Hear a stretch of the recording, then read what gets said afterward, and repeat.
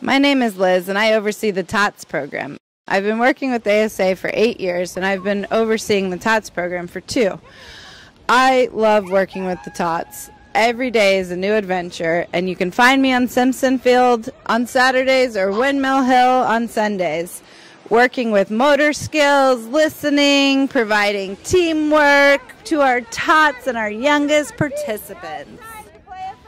Spring2Action is a really important day for ASA because the money we raise supports every kid in Alexandria that wants to play soccer from 2 to 19 and especially the after school programs. We never turn anybody away.